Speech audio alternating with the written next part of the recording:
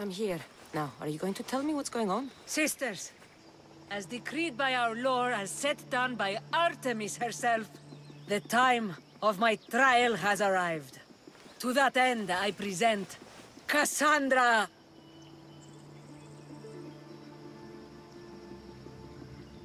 Hi, Hades. What's going on here?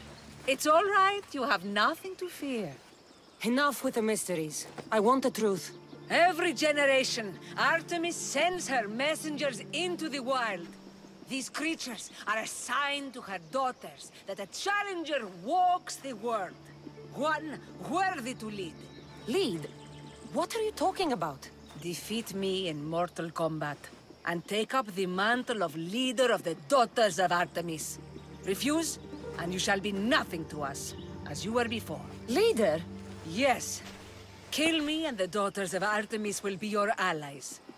The gods have brought us together for this moment. Whatever your choice, there is no turning back. Daphnae, I can't kill you. I thought we'd become... friends. This is the way of my people. I don't make the rules. I follow the will of the goddess. I cherish our... friendship.